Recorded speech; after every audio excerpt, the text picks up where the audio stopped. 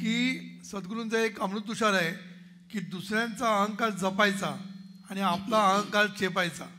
चेपायचा म्हणजे बावळपणा नाही पुन्हा सांगतो. चेपायचा म्हणजे उगीच उसळून बाहेर पडतो तो यायचा नाही आपण. कारण लोक जरा बोलले की आपण आपला अहंकार एकदम बाहेर येतो. तसा येता कामा नाही संयम पाहिजे सहनशक्ती पाहिजे आणि दुसऱ्यांचा अहंकार जपता आला पाहिजे आपल्याला. कारण प्रत्येक माणसाला अहंकार हा असतोच. कारण अहंकार का असतो? कारण हा जो ईश्वर आहे ना हा महान आहे. आणि तो ईश्वर आपल्याकडे असल्यामुळे आपण आपल्याला मान समजतो. त्यामुळे थोडासा अहंकार असणारच पण तो अहंकार आहे ना प्रा माफक प्रमाणात असला पाहिजे.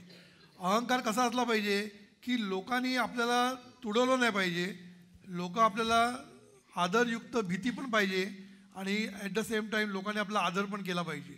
म्हणून असं नाही की कोणी येऊन टिपलीत टपलीत मारून जावं. एवढा ह्याचा अर्थ अहंकार चेपायचा नाही. अहंकार चेपायचा म्हणजे आपला संयम ठेवायचा.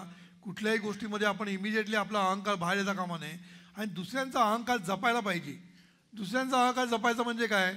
त्याला त्याचा मान देणं आणि मान ठेवणं हे आपण केलं पाहिजे. आपण जर सगळ्यांसमोर त्याचा जर अपमान केला तर त्याला आपण त्याचा अहंकार दुखावला जातो. म्हणून लहान मुलांचा पण अहंकार दुखावला जातो लक्षात ठेवा. लहान मुलाला तुम्ही सगळ्यांसमोर बोलून बघा तो पण रडून देतो. का रडून देतो? कारण त्याचा अहंकार दुखावलेला असतो.